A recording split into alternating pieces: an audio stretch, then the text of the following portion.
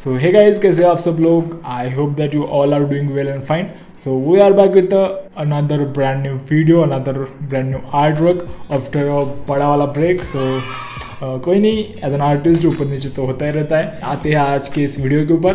तो आज के इस वीडियो में हम बनाने वाले हैं एक ऑयल कलर आर्ट वर्क जो कि लॉर्ड कृष्णा कृष्ण भगवान जी का हम आर्ट वर्क बनाएँगे। And I am really excited for the artwork and I hope so कि आप लोगों को भी उतना ही मज़ा आए throughout the video throughout the artwork and guys बात करें कलर्स की तो जो कलर्स है, वो है कैमल के ट्वेल्व शेड्स के ऑयल कलर्स है, जो कि आपको नाइन एम की ट्यूब्स मिल जाती है। एज एन बिगनर आप उन्हें बाय कर सकते हो बहुत ही अच्छी क्वालिटी कलर है. एज अ प्रोफेशनल आर्टिस्ट भी आप उसका यूज़ कर सकते हो. उसके अलावा जो कैनवास में यूज़ कर रहा हूँ, वो है एक लिनन कैनवास बट लाइक वो थोड़ा सा कॉस्टली होता है. अगर आप रिसेंटली इस मीडियम में वर्क करना स्टार्ट किए हो then I will recommend you कि आप एक नॉर्मल कैनवास के साथ जाओ. एंड उसके साथ साथ आप एक कैनवास पेपर भी यूज़ कर सकते हो। तो आपके हिसाब से आपको जो कंफर्टेबल लगे, आप उसे यूज़ कीजिएगा। ओके और बात करें ब्रश की तो जो ब्रशेस मैं यहाँ पे यूज़ कर रहा हूँ लाइक अलग अलग टाइप्स के ब्रश मैं यहाँ पे यूज़ कर रहा हूँ। Synthetic brush and also hog brush भी यहाँ पे यूज़ कर रहा हूँ। सिंथेटिक ब्रशेस में मैं flat brush and also round brush भी यूज़ कर रहा हूँ। तो वो किस तरह से अलग अलग पार्ट के ऊपर मैं उनका यूज़ करूँगा एंड वो किस तरह से करता हूँ, वो आगे जाके आपको वीडियो में देखने को मिल ही जाए और जो भी मैं मटेरियल्स यूज़ कर रहा हूँ, उन सारे मटेरियल्स के लिंक मैं नीचे डिस्क्रिप्शन में आपको प्रोवाइड कर दूँगा। तो अगर आपको चाहिए तो वहाँ से आप चेक कर सकते हो। So now without wasting any more time let's get start our today's artwork and ये रही अपनी रेफरेंस इमेज जो हम आज की इस आर्ट वर्क में ड्रॉ करने वाले हैं। तो basically this one is a digital artwork जो कि मुझे एज अ रेफरेंस मिली थी। तो इसी को थोड़ा सा हम मॉडिफाई करेंगे थोड़ा सा इसमें इम्प्रूवमेंट करेंगे एंड लाइक uh, like, किस तरह से हम एक स्किन टोन इसमें ऐड कर सकते हैं किस तरह से इसे रियलिस्टिक दिखा सकते हैं वो दिखाने की उस तरह से दिखाने की ट्राई करेंगे। तो इसकी लिंक भी मैं नीचे डिस्क्रिप्शन में पिंक कर दूँगा वहाँ से आप डाउनलोड कर सकते हो। सो so, यहाँ पे गाइज़ जो आउटलाइन है वो मैंने पहले से ड्रॉ कर ली है with the help of grid line method तो जब भी आप अपना आर्टवर्क शेडिंग के लिए स्टार्ट करो उससे पहले आपकी जो आउटलाइन होती है उसे जितना परफेक्टली आप ड्रॉ कर सकते हो उतना परफेक्टली ड्रॉ करने की ट्राई करो. बिकॉज़ जितनी परफेक्ट आपकी आउटलाइन होगी उतना ही परफेक्ट बाद में जाके आपका आर्टवर्क लगेगा एट द एंड तो यहाँ पे मैं हेयर से शेडिंग करना स्टार्ट कर रहा हूँ एंड ऐसे ऐसे लाइक ऊपर से नीचे तक शेडिंग करता चला जाऊँगा. एंड गाइज़ वीडियो एंड तक ज़रूर देखेगा बिकॉज़ आपको जो भी मैं यहाँ पे कलर्स अप्लाई कर रहा हूँ, जो भी शेड्स अप्लाई कर रहा हूँ, जो भी चीज़ें मैं आपके साथ शेयर कर रहा हूँ, उन्हें अच्छी तरह से आप ऑब्ज़र्व कीजिएगा, उसी के थ्रू आपको सीखने को मिलेगा मिलेगा। And as an artist one of the most important thing is the observation right तो जितने अच्छी तरह से आप ऑब्ज़र्व कर सकते हो सारी चीज़ें, उतने ही फास्टली आप लर्न करोगे। So observe all the artwork जो मैं बना रहा हूँ एंड वीडियो एंड तक देखिएगा। तो गाइज़ यहाँ पे मैं क्या कर रहा हूँ, अगर हम रेफरेंस इमेज देखें तो ओवरऑल दी हेयर्स में एक ब्लैक कलर देखने को मिल रहा है। तो यहाँ पे मेरी प्लानिंग यही है कि मैं फर्स्टली एक ब्लैक कलर की layer overall the hairs add करूँगा।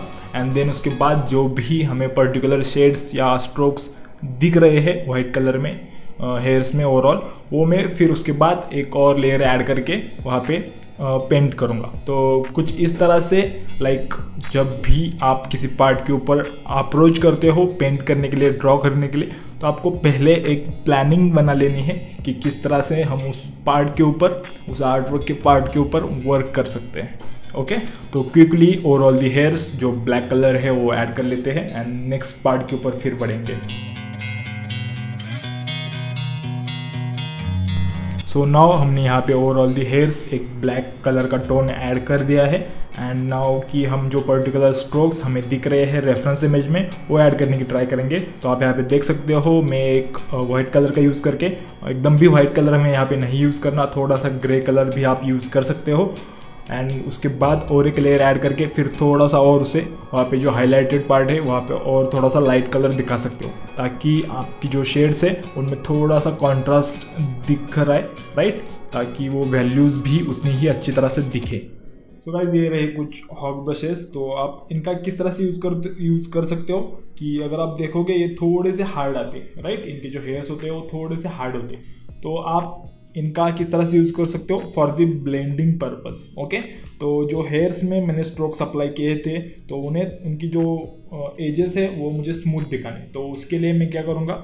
इनकी लाइक जब मैं फ़र्स्ट लेयर ऐड करता हूँ ग्रे कलर के साथ देन उसके ऊपर मैं इनका डायरेक्टली अप्लाई करूँगा। तो वो क्या करता है? थोड़ा सा वापस स्मर्ज कर देता है एंड एजेस को सॉफ्ट कर देता है ओके तो स्किन के ऊपर भी हम यूज़ कर सकते हैं, जहाँ पे मुझे दो तीन शेड्स मिक्स करनी है, वहाँ पे मैं इन्हें अप्लाई कर दूँगा तो स्किन के ऊपर भी आगे आपको देखने को मिल जाएगा। एंड यहाँ पे मैं यूज़ कर रहा हूँ एक ज़ीरो पॉइंट का ब्रश बिकॉज़ एक, मुझे यहाँ पे एक शार्प स्ट्रोक्स चाहिए राइट तो शार्प स्ट्रोक के लिए मैं यहाँ पे एक ज़ीरो पॉइंट का long stroke pointed brush use कर रहा हूँ। उसी के साथ साथ मैं ये ध्यान में रख रहा हूँ कि कहाँ पे किस तरह से हेयर्स की डायरेक्शन आ रही है राइट क्योंकि हेयर्स ड्रॉ करते समय हमें लाइक हेयर्स की जो डायरेक्शन होती है, उसी डायरेक्शन में स्ट्रोक्स अप्लाई करने होते हैं, ताकि वो बाद में जाके आपके आर्ट वर्क में भी वो दिखे चीज़ direction of the hairs right तो उस तरह से आप ड्रॉ कर सकते हो। एंड मैं थोड़ा सा उसको फिर हेयर्स को ब्लेंड भी कर रहा हूँ, ताकि उतनी भी शार्प एजेस ना दिखे उसकी,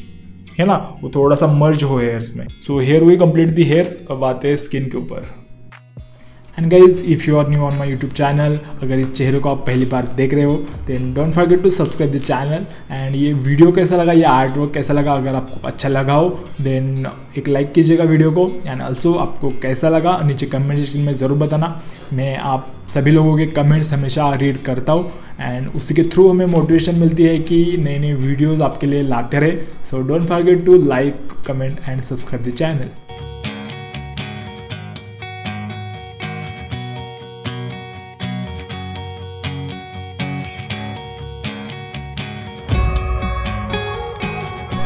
तो बात करें फेस की तो फेस के ऊपर आपको ओवरऑल दी फेस आपको एक ब्लू टोन देखने को मिल रहा होगा।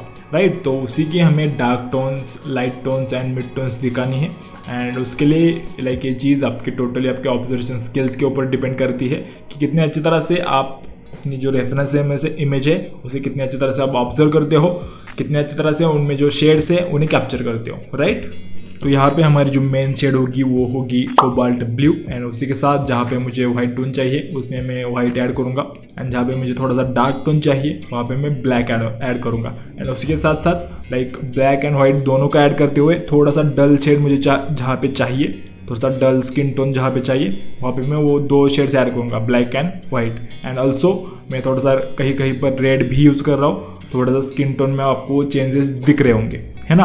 तो जितने अच्छी तरह से वो contrast in between the values आप जितने अच्छी तरह से कैप्चर करते हो एंड उसे अपने आर्ट वर्क के ऊपर दिखाते हो, उतना ही आर्ट वर्क आपका रियलिस्टिक दिखता है। एंड गाइज़ अभी पे देख सकते हो कि मैं एकदम से वो फाइनल टचअप यहाँ पे नहीं ऐड कर रहा। लाइक like, उसमें थोड़ा सा टाइम लगता है। आपको मल्टीपल लेयर्स ऐड करनी होती है। एक ही बार आपको सारी चीज़ें समझ में नहीं आती। उसको थोड़ा सा टाइम देना पड़ता है। आपकी ऑब्जर्वेशन स्किल्स लाइक एकदम से पूरे रेफरेंस इमेज को नहीं कैप्चर कर पाती। तो जितना ज़्यादा आप उस आर्ट वर्क के ऊपर टाइम स्पेंड करते हो जितना ज़्यादा आप अपनी रेफरेंस इमेज देखते हो अपना आर्ट वर्क एंड अपनी रेफरेंस इमेज जब आप कंपेयर करते हो तो बहुत सारी चीज़ें फिर बाद में फिर आपकी समझ में आती है। तो उसको भी थोड़ा सा आपको टाइम देना पड़ता है। मैं यहाँ पर मल्टीपल लेयर्स ऐड कर रहा हूँ जो हाईलाइटेड पार्ट है वो मैं बाद में जाके ऐड करूँगा।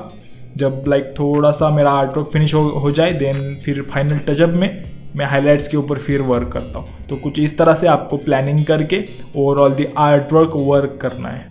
एंड मैंने पूरे फेस के ऊपर ज़्यादातर करके जो हमारे राउंड ब्रश है सिंथेटिक राउंड ब्रश उसी का यूज़ किया है। मुझे उतना लाइक फ्लैट ब्रश यूज़ करने की ज़रूरत नहीं पड़ी। एंड उसके बाद फिर दो टोन्स को ब्लेंड करने के लिए, थोड़ा सा स्मज करने के लिए मैं जो हमारा हॉक ब्रश होता है, जो मैंने दिखाया आपको, उसका यूज़ कर रहा हूँ।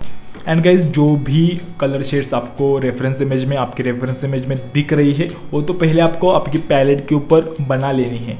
उसे थोड़ा सा आप एक रफ पेपर के ऊपर ट्राई करके देखो मैच करके देखो, आपकी रेफरेंस इमेज के साथ मैच हो रही है कि नहीं, या फिर आपको जैसा चाहिए, उस तरह से वो शेड आ रही कि नहीं, वो पहले देखो एंड देन ही उसे अप्लाई करो। आर्ट वर्क के ऊपर डायरेक्ट जाके वहाँ पे दो कलर्स मैच करो, ऐसा मत करो।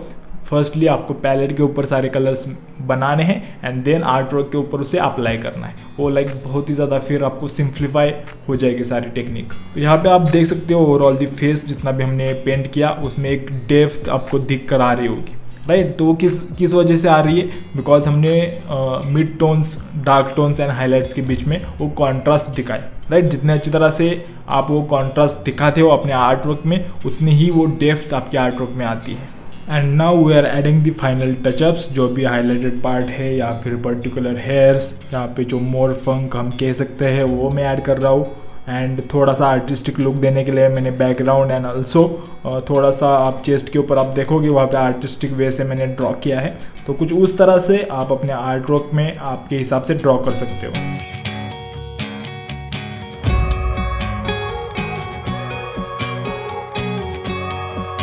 So guys, that's all for today's video. I hope you guys enjoyed today's video and learned something throughout this video.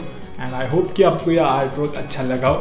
अगर अच्छा लगा हो then hit the like button and don't forget to subscribe the channel so मिलते हैं हम आपसे next video में with the next art work so till then take care bye bye and draw करते रहिएगा।